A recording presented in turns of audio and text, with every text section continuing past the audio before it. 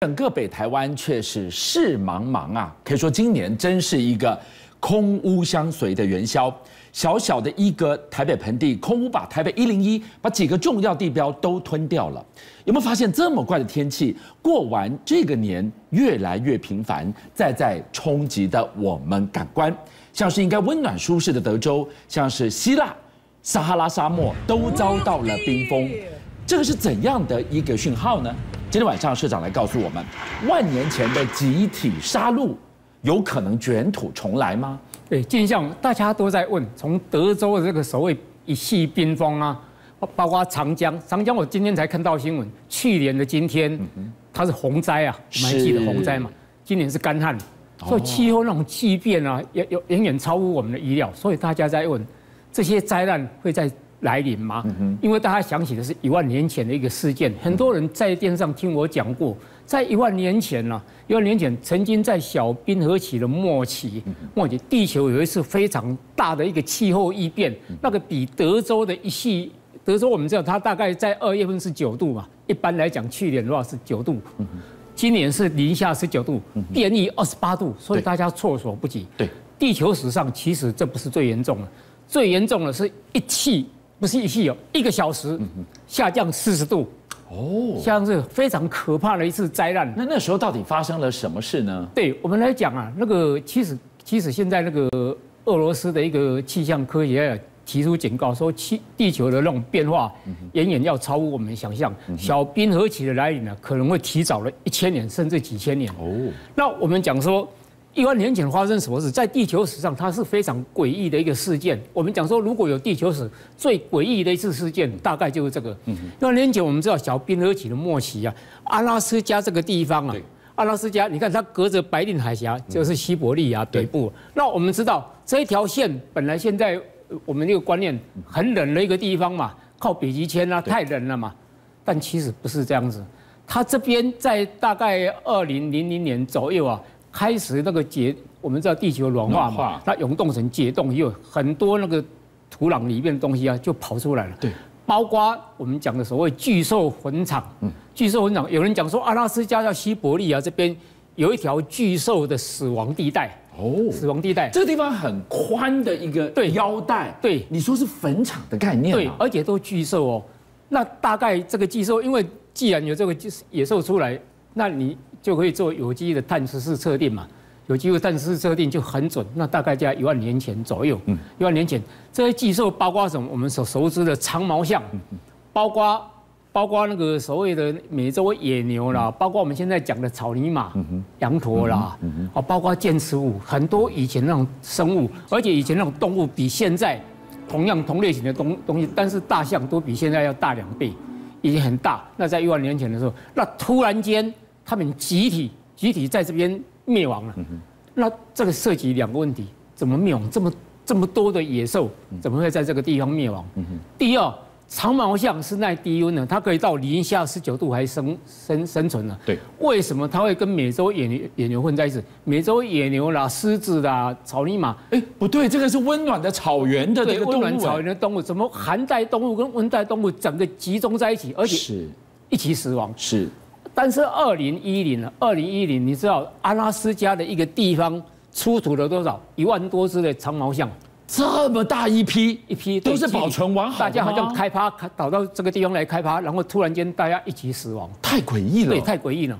那这个有一个问题，就温带的跟热跟那个寒带的动物混杂在一起。第二，一夕之间，全部这些动物为什么都跑到这边来来来死？一起死？对。第三，他们的死亡方式，科学家百思不得其解。死亡方式是什么？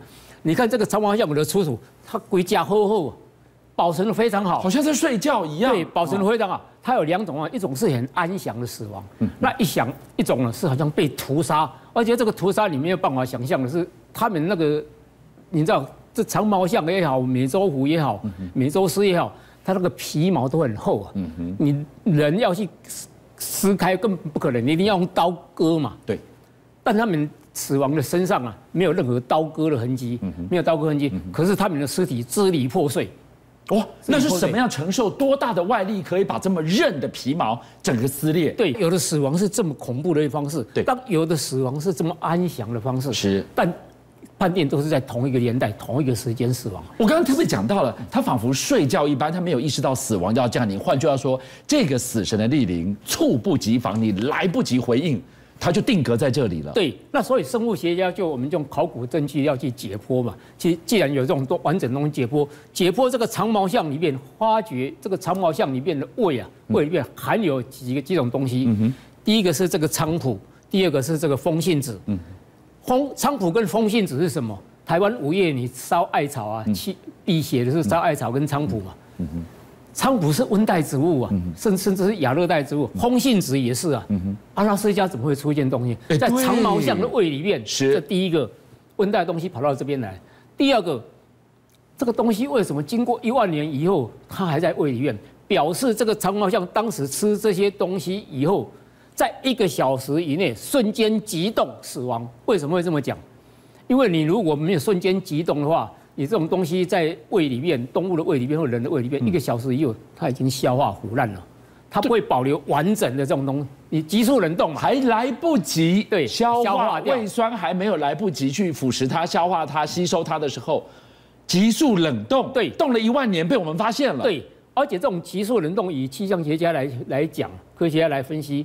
这种急速冷冻要一个小时以内，等于说我吃东西下去嘛，对，一个小时以内不让它腐烂，是，那就是一个小时以内要急冻，那就是要一个小时以内气候从零到零下四十度，要急降四十度以上，有的也讲要五十度，甚至讲到六十度。所以我们回过来看这个德州，德州九度掉到十九度，负二十八往下掉二十八度，都一根起。天下大地了，对。结果你这个是四五十度，一个小时，而且它是一个小时。德州还不是一个小时，德德州几天你会慢慢慢慢让降降下来的。所以那种气候的那种下降，它远远超出我们现在科学的一个想象。那我退一万步说，今天我们讲到是北极大陆这个冰封的阿拉斯加到西伯利亚北部这一个腰带，这么冷是我们现在的认知。以前它是温带有风信子的这样的温带植物，换句话说，它以前没有这么冷。对。所以在一万年前，阿拉斯加跟西伯利亚，它其实是一个温带地区，它不是现在这样整个冰雪封冻的一个世界。你看这个考古出来了，在那个阿拉斯加也找到一棵这样，在永冻层里面找到这样一棵树，这一棵树是什么？棕榈树。棕榈树是热带的吗？对，菲律宾、泰国，你看一大堆啊，棕榈树，那跑到阿拉斯加去，所以表示一万年前这一棵棕榈棕榈树二十八公尺高啊，很高很粗壮啊。表示在那边成长已经很久了，那表示那边一定是一个曾经是温带气候，也是在一夕之间变成一个涌动的一个世界。今天晚上社长带我们来看到一万多年前的北极，不是我们认知的北极，它不冷。它甚至是温暖的。那回过头来，我们来看看另外一极南极大陆，现在冰封一块。那一万年前，它历经过什么呢？对，同样在南极也是一样。我们说南极影响地球最严重，是因为南极的冰层啊，占了地球所有冰层，包括冰川啊，包括北极的冰，它占了百分之九十二。是南极很大的一块冰块。那南极在我们讲说，在一五一三的时候曾经出现。曾经出现一个奥特曼土耳其的，它这个其实是在后来，后来在奥特曼土耳其的首都金士坦丁堡的一个图书馆里面找到了，找到一个这个地图，这个地图叫南极古地图。嗯，南极古地图是一五一三这个当时奥特曼帝国的一个海军总司令叫皮雷雷斯画的。嗯，但皮雷雷斯画这个南极古地图时候，他有说他参考的是君士坦丁堡一些图书馆里面。远古留下来的地图，哦，他们描述，那描述也有这个，我们曾经讲过，说它跟现在科学家所对应的这种南极的一种海岸线什么，包括南极的山脉，它上面有画山脉是吧？完全一致，完全一致，所以所言不假，也就得当时考核的史料是正确的。对，但是这一张古地图，它复刻过来的这张图。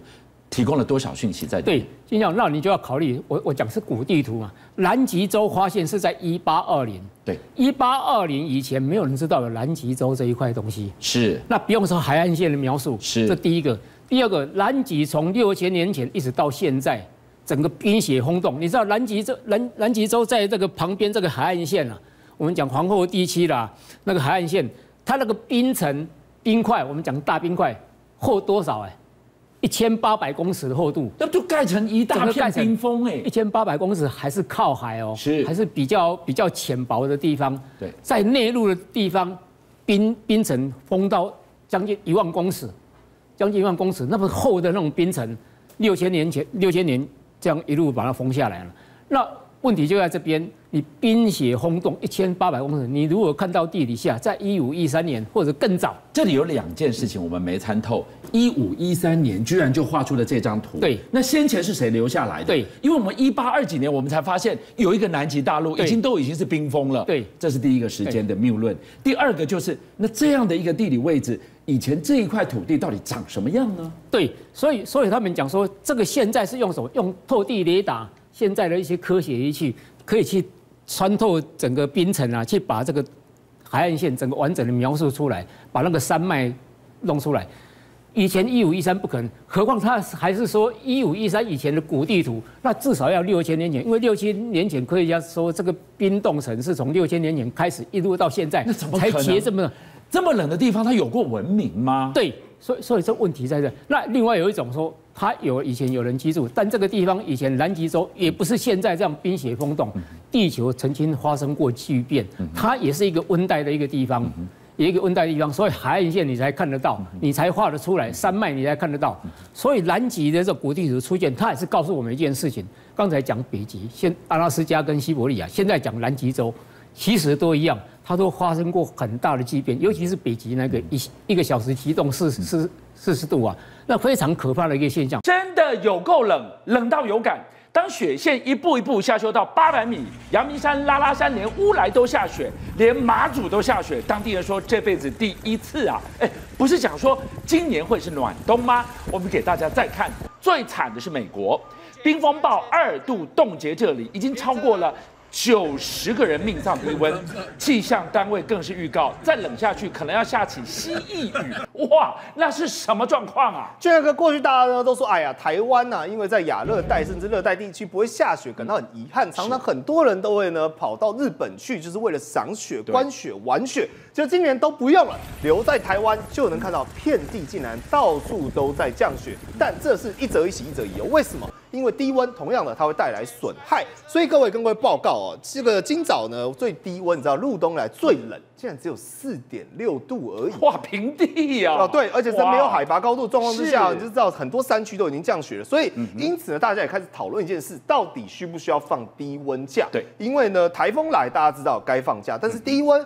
同样，每年每次发生也会造成很多损害，而蒋万安呢也创下了这个台北市首例，在这个阳明山上已经放了低温假，让学生呢至少可以待在家里面，避免家长担心。不过，我们的劳动部很多民众都在关心说，但你中央总要有个态度啊，你现在态度是什么？结果是没态度，他说没办法哦，你们就是看说各个学校呢，大家自自己的需求。那侯友谊呢，就是说跟教请教育部评估，不过劳动部目前并没有统一的标准。但即便是如此，我们带来各看到台湾各地出现的美景。什么叫美景呢？像是以乌来来说，乌来呢有一个叫九六七高地的地方，就各位你看到一片雪白世界哎，乌来都下雪了啊，然后那个景色萧萧，这个意寒溪，哇，看起来特别的美。结果没想到的，而且是暌违八年。你说一般哦，台湾的降雪是这样子，有一点雪花片片的，大家就很高兴。没想到它不是有积雪哦，而且高达一公分的厚度。你看这边还有脚步哦，行经过都踩过去，所以等于说大家想说哇。台湾难得竟然看到这种景象，不止如此，包括阳明山一样。为什么要放低温假？现在就跟你讲了，零点一度。它变成是一边降着雨，一边飘着雪。就你二子坪这个地方呢，就你各位现在看画面，白茫茫一片。虽然说呢积雪不算太多，但是那个民众呢勉强稍微自己 Q 节 Q 节 Q 节，还可以在旁边搭一个小雪人哦，可爱就是这样静静兴。现在状况变成是这样，但镜头呢带你回来看到宜兰哦，这个小弟本人老家宜兰太平山这个地方，其实太平山降雪不稀奇，但今年特别在于说是真的是有够冷。你看哦。路面结冻，现在只有负三度 C，而且我们刚刚讲积雪一公分，对不对？不好意思，太平山来，直接不用客气啦，豆走，全部一整片都是雪，而且厚度高达三公分。但这边还是提醒一下观众朋友，通往呢你要去赏雪的时候，记得你那个车辆还是要上雪链，否则那个开上去非常危险哦。但是你看，像新竹。所以现在不用再特别跑哪个地方了，遍地都是雪。坚石这个地方也下雪，圣马库斯变成什么？冰雪奇缘，白雪世界。哎呀，就连这个店家可是苦了店家了哦。我讲一则以喜，一则以忧，就是这样。为什么？啊我最怕我亏那都没醉了。哎呦，来带动转隔边全啊！管结冻了。哎，各位你就会看这个，是哎呀，到处都是雪。你看，哎呀，这个手一捞就是一整片无水可用。但是你讲本岛就算了，现在就连外岛也这样子，就连马祖哦，大家讲马祖也很少会看到这个景象，白雪纷纷，大雪飞飞，就连南干呢都下起了冰线，北干呢则叫什么？碧山白茫茫，整片山壁通通都是一片雪景。真的有够冷，冷到连乌来都下雪。今天报新闻为大家邀请到是。东森新闻团队的气象顾问郑仁生郑顾问好，是是你好，顾问我们讲一下，这一次这么冷，大家一个想起就是二零一六那一波的霸王寒流，这两次的冷有哪一些相似的地方，有哪一些不同的地方呢？没有错，那时候我在想，二年一六霸王寒流也是一月二十一号。那通常冬天的这个状况，这次也是一月二十二号，这么接近非常接近。所以说冬天其实冷就是冷在一月份，尤其一月中下旬。对，那我们那时候想，大霸王级寒流，当时它在这个蒙古的高压，它到一零九二百帕。那这次是一零七八，所以稍微弱一点，稍微弱一点。不过整体来讲，还是很完整的高气压。是，等于说这个可以看到这个高压的这个空气从北边这样子冲下来，直下台湾。那我们看到这个冷空气啊，一波一波的这种包状云啊，通常寒流要出来的时候，这种包状云，如果看这个动态的话，也是很明显的。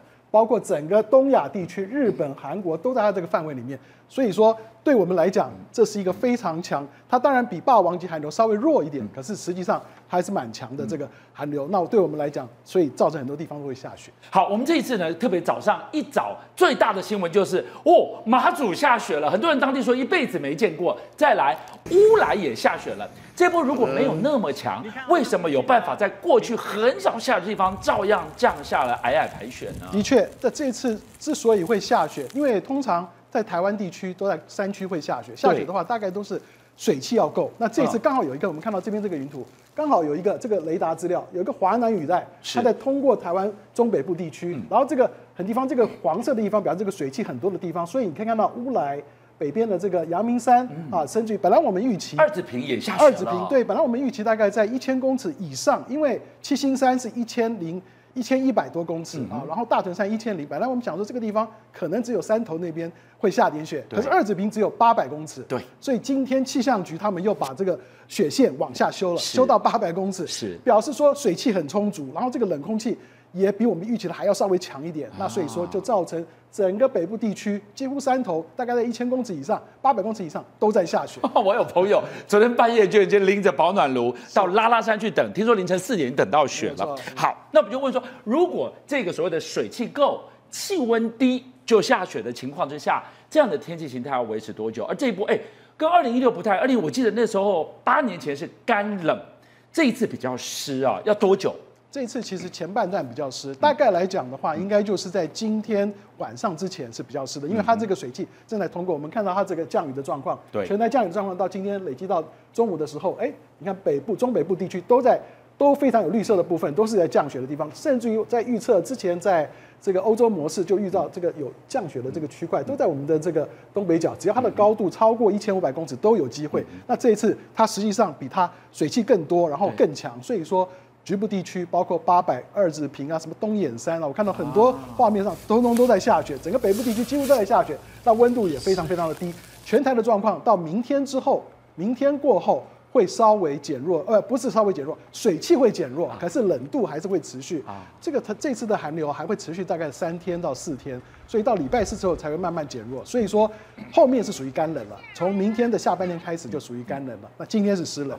好，顾问，这一次的冷让我们想起了副北极震荡，它那个冷空气一波一波推下来，到底这个威力可以多大？而今天冷完之后，这几天冷完之后，一直到过年，还有机会再出现这样子低温吗？是副北极震荡啊，就是二零一六那个时候，呃，产生的这个霸王级寒流的主要原因啊。那副北极震荡它这一次，其实在前两周，我们看到美国那边，呃，加拿大那边下非常大的雪，可以看到它。它的图大概就是意思，就是说，本来正常的状况，正北极震荡是北这个，呃，封面这个叫做喷射气流，把这个北极冷空气锁在北北极区，它像是一道围墙，对，一道围墙不牢不可破，它通常不太会到低纬度来。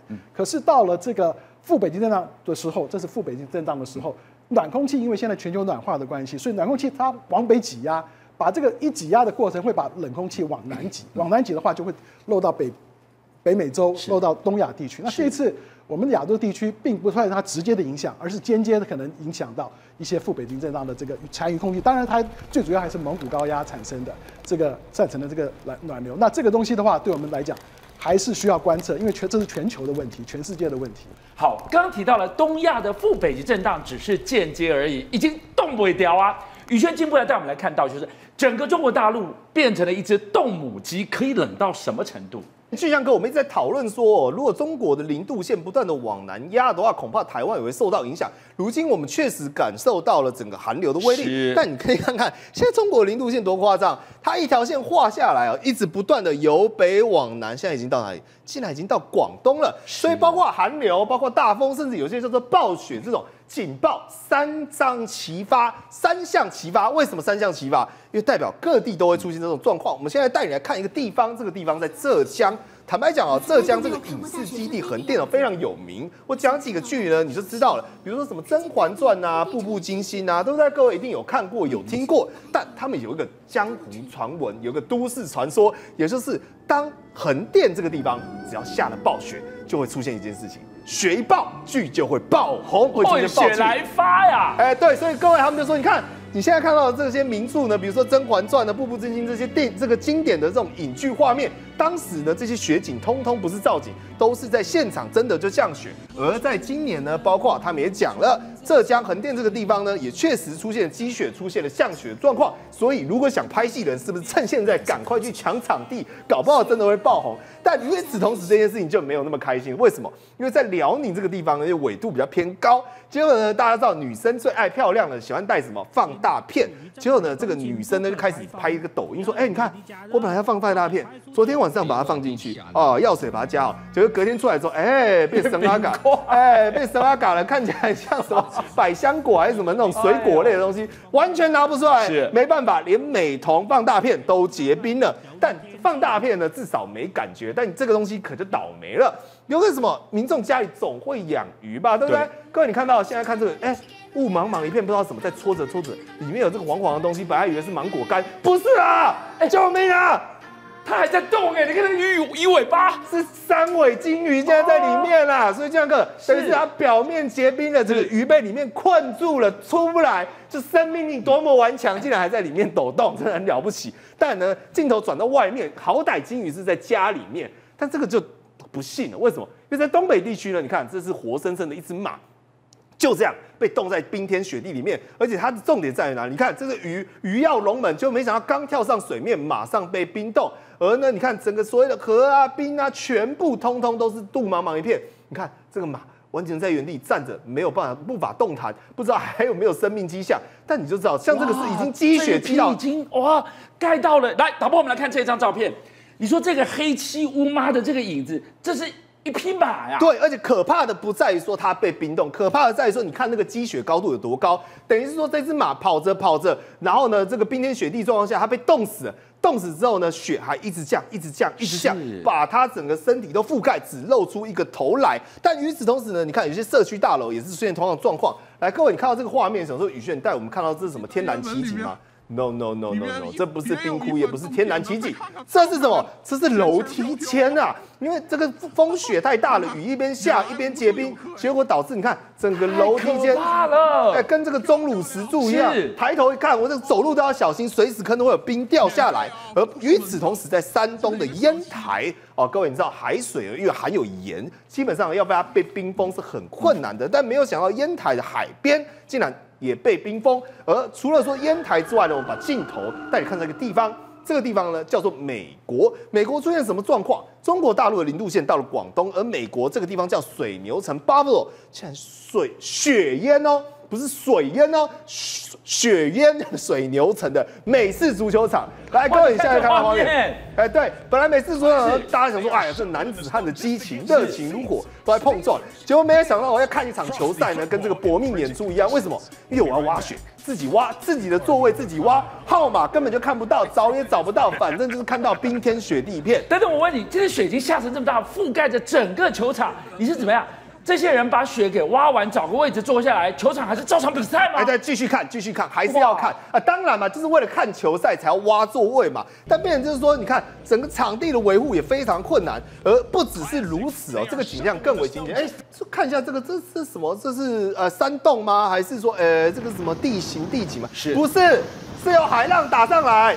看到鬼了，海浪打上来，结果因为太冷了，瞬间直接结冰，而这个形状就维持着海浪的形状。各位，你看到，你以为有人在倒冰块吗？不是啊，是在海浪在打。你看，美国在冷到一个什么程度？你看看，哎，对，变的是这个打浪变打浪快了。好，但就是有民众呢，还是特别外出，就毕竟没办法，即便冰天雪地，我还是要出门吧。就出门之后回家呢，发现一个状况。这衣服你知道吗？本来衣服是柔柔软软的，对，你看一下他的衣服，顶扣扣哦，哎，对对对对，变防弹背心了，哎，瞬间一个衣服就变防弹背心了。因为这个你知道，大家知道，衣服有些呢，它比较容易吸湿气，有些呢可能是塑料，它就不会。当湿气太重的时候，整件衣服当然就会结成什么？结成冰块。但不只是如此，来带你看到下一个画面，这个地方呢是在位在一个车子，你说，哎，宇轩这哪有什么大不了？有这个车窗被敲破了吗？车窗被敲破了，这不是车窗。这个是结冰的，它的车窗真正在里面，你以为那是车窗吗？不是，是因为天气太冷，直接形成了一个天然的冰窗。哦，你看这个小朋友很调皮，哎，一下两下，我敲我敲我敲，哎哎哎，把它敲破，好好玩，好好玩。哎，就你看真正的这个车窗在里面，所以你知道这个天气有多冷。当然了，有些民众哦，这个比较有这个冒险患难的精神，像这位这个阿姨，这位小姐哦。特别人就把自己的头发弄湿之后走出门外，就往上一甩，你就看到哇，呈现这 特殊的发型。你看，等于是说呢，当下是什么形状呢？瞬间结冻。哎，对，只要你任何有水汽的地方呢，通通会变冰。而且，轩阳哥，你仔细看哦，还一边冒着烟哦，你看多冷。他的头发因为有水汽关系，你看哦，还在冒着烟，冒着烟，冒着烟，哇，感觉很像这个动画人物、卡通人物火冒三丈一样。但这个叫做好玩。有些人呢，可能看到这个冰天雪地就很生气，为什么？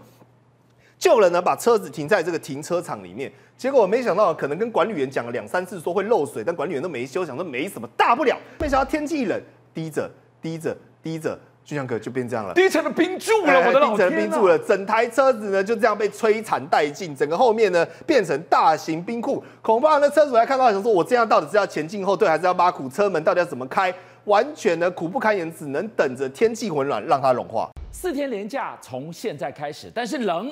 越晚越冷，都已经迈入春天的美国，居然还笼罩在风雪之中，居然传出了飞机玻璃甚至被砸破，这是什么情况？更恐怖的是，居然一颗撒哈拉沙漠的沙子会飞到一万公里外的中美洲。中博来告诉我们，这预告了怎么样的浩劫？首先我们来看啊，极端气候呢，日本人最感同身受，因为呢，日本中年呢很多地方都是大雪，大家知道北海道啊。它一年有将近四分之一的时间都在下风雪，那所以呢，他们就必须要常常的清雪来开路，但老人家做不来，怎么办呢？哇，当地大学生很聪明，他就办了一个叫铲雪大赛，他直接叫那些年轻力壮的国高中生啊，三到五人组成一队，就像画面当中这样子，我每年就叫你们来帮老人家铲雪，但是呢，其实是一个比赛啊。然后铲雪的话，半小时之内必须完成。完成之后怎么样来评分？就你铲雪的量最多，你就是冠军。但是如果被我发现你铲的雪那条路却依然又湿又滑，就必须扣分。我觉得日本人这么做很聪明。一来呢，你化解了极端气候所造成北海道积雪的不便；二来也可以让那些老人家能够通行无阻。但讲到了暴风雪，美国最近就是大概上个礼拜左右呢。饱受了冬季风暴之苦，而且非常严重。当地气象局讲，这可以是说是二十一世纪最严重的冬季风暴之一了。而且这次所侵袭的范围是全美哦，它是依序从美国的西部一路到中西部，再到东部。那它造成哪些影响？我举例啊，比方说，呃，以美国的这个中西部为例，像是西部到中西部为例，像是他们的内布拉斯加州，还有俄这个怀俄明州，还有像是这个呃科。科罗拉多州跟犹他州，他们的暴风雪跟暴风，暴风的速度，我讲一个数字，你听了真的会吓一跳，每小时五六十英里，这是什么概念，中博啊？它等于是九到十级强风，哦，因为换算成公里，就每小时是八九十公里到一百了哦。然后它的积雪深度六十公分起跳，它出门的温度负四十五度 C。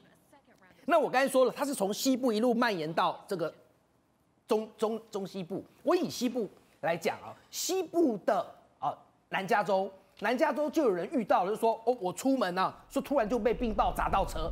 那还有人呢，则是在中西部说他不能出门，因为他一出门负四十五度 C 的温度就会让他的皮肤灼伤。然后呢，他还继续往东蔓延，往东蔓延到美国的宾州、纽约州。好，那这些造成什么？东部的州就是会影响到航班的起降。那刚刚我讲那个冰雹啊，更是让南湾地区这个呃南加州湾区的人说，我这辈子从没见过像珍珠奶茶一样大的冰雹啊，就这样直接磕磕下来。美国人会问，为什么在上礼拜会出现这么极端的气候？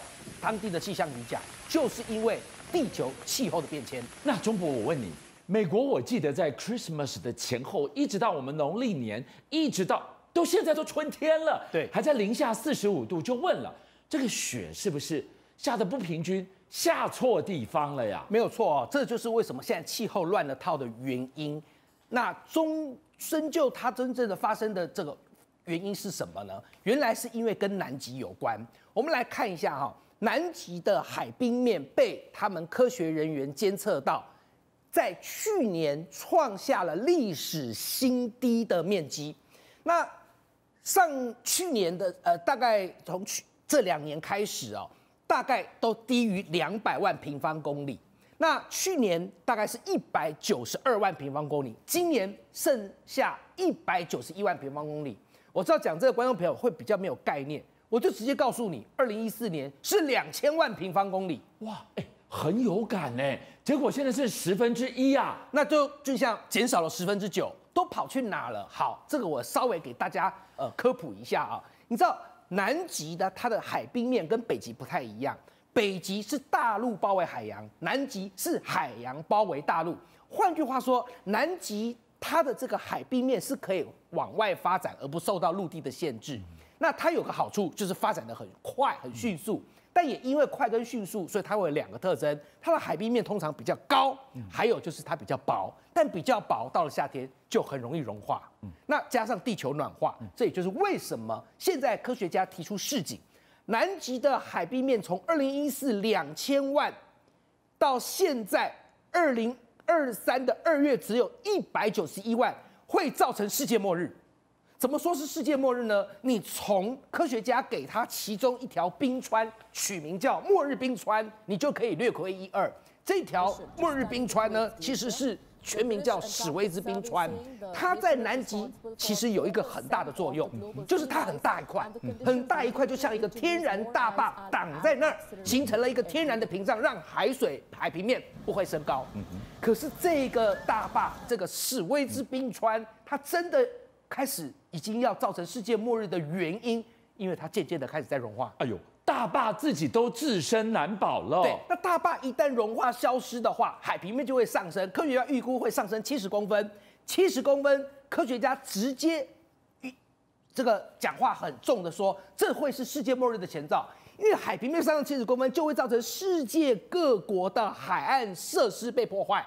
那大家会说，那顶多海岸设施被破坏，也不至于就会世界末日吧？因为科学家说他还没说完，他说最终会上升三公尺，这不就跟明天过后还有二零一二里面描述的场景一样？我们都被淹在水里了耶，到时海候平面上升三公尺，那一绝对是倒灌。欸对我跟军校报告，那绝对是倒灌。所以科学家讲啊，说这个就像是一个蝴蝶效应，你只是看到南极的某个冰坝要融化，竟然就可以引发世界末日。那结果呢？这时候有一个区域的人会说：好险好险，我们好像逃过一劫。哪里？比方说像是非洲北非，是或者是中东地区哦，感觉他们好像天高皇帝远。对，很热。是。结果科学家就说，你们也会是蝴蝶效应中的受害者之一。你知道最近两年，他们中东跟北非发现他们的沙尘暴变得非常的严重，而且严重到有人因为这样子，他们的呼吸道重病甚至死亡。好，那画面当中你看到这些人出门都必须要戴口罩，接受呼吸道的治疗。他们并不是因为我们讲的 COVID-19，而是因为画面当中你看到灰蒙蒙的沙尘暴。但为什么科学家说这个会跟北极的融冰有关？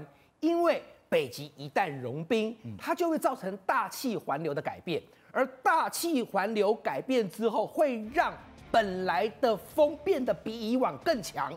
那原来吹不到你北非跟中东的这些沙尘暴的沙子，现在吹得到了，可以吹得比以往更远数千公里。所以这也就是导致北非和中东沙尘暴在这两年变得严重的原因。他们绝对想不到是跟北极的融冰有关，就跟我刚刚讲食物链被破坏，海豹找不到栖息地，然后这个磷虾变少，鲸鱼吃不到磷虾，是这个整个生物链的被破坏，竟然会跟南极的海冰面减少有关。这全部都是牵一发而动全身。说到了这么细微看不到的连锁反应，是分分秒秒就在我们的生活周遭进行，最后会带来浩劫的结果吗？你刚刚提到了北极，北极我觉得离我们比较近了。北极在融冰，想到的只是全球暖化吗？北极融冰居然也在战火蔓延时，是，所以呢，北极看到了极端气候造成的影响，更看到了世界各国想在这边做军事的角力。是尤其美国，美国最近非常的积极啊，他联合了加拿大和挪威，在他们极地做了极地的训练，是代号北方打击二十三。从这个顾名思义看得出来，他们就是要加强他们士兵在极地作战的能力。是，那我们晓得，美国的国民警卫队其实和美国的军方实力是不相上下的。他们在这边做训练呢，主要是你在俄乌战争当中，是不是看到了很多的俄罗斯人？其实他们已经算很不怕了，但他们到乌克兰居然还会冻死，那就代表其实如果真的到别的国家，你遭遇到严寒的气候，你很可能水土不服。Mega 在这个地方，你看到哦，今天在这个地方进行耐寒雪地训练的，可不是什么特战一线的哦，他是国民警卫队耶，对。居然跑到北极来练兵我认为美国这个国民警卫队的练兵动作看得出来，他对于地面部队的重视。是。而且呢，我再跟巨象报告，还有一个亮点，他叫这些国民警卫队通通给我背上 M 拐拐拐榴弹炮进行实战演习。为何哪个不榴弹炮不背，偏要背这个？怎么不背把苏卡火箭炮？原因是因为在俄乌战争当中，乌克兰的军队对抗俄罗斯成功击退他们的秘密武器，就是这款 M 拐拐拐榴弹炮。所以美国呢，这次的北方打击二十三，我个人觉得其实就是做给俄罗斯人看的啊。不止，美国不是只有将地面部队在北极做训练，他甚至还加强了他在美国北极的空防能力。他将美国空军 F 三十五 A 第五代战机派到了北极的空军基地。其实这个空军基地有点老旧，它从二次世界大战就到现在了。但美军说没关系，我现在把我最好的战机派来，我还要将这个空军基地 upgrade 重修，把它修到最先进。这个空军基地呢，还有这个 F 三十五 A 现在部署的地方是在格陵兰岛。也就是隶属丹麦的属地，但丹麦是美国的盟友，这个我们都很清楚。好了，有了地面的国民警卫队，对都能够加入战争，又有了美国最先进的这个战机，不止，美军现在就像刚刚俊相所说的，他并不是派特种部队过去，对呀、特种部队呢？可是美军想的是，如果一旦真的爆发第三次世界大战，而且是在北极的话，我相信不会只有俄罗斯单方面的阵营，很可能他还会有其他国家的加盟。那美国这时候终究还得还是得出入他们的精英，就是我们讲的特种部队。所以他早就想好了这一点。他虽然没有花重金把地面部队、呃特种部队通通派到北极地面去，但是他就在阿拉斯加。我想阿拉斯加是美国最严寒、最北方的一个州，他在那里设立了一个学校，然后他清点了包括绿扁帽部队，还有空特部队去那边做 Siri。什么叫 Siri 呢？我跟各位讲，Siri 呢其实就是生存、躲避、抵抗。还有逃脱的简称，各取前面一个英文字母，叫做 Siri。但是他们说还有一个美中不足，还有美中不足都一百分了，还要还要哪里？缺乏物尽其用。是他说，既然我们来到阿拉斯加州，阿拉斯加最厉害的当地的原原原原生民族是谁？爱斯基摩人啊，他还招募了爱斯基摩人来成立爱斯基摩侦察队。他说，如果有一天真的世界大战开打的话，北方打击这个战争，爱斯基摩人会成为美国军方最前线的眼睛和耳朵。邀请您一起加入五七报新闻会员，跟俊相一起挖。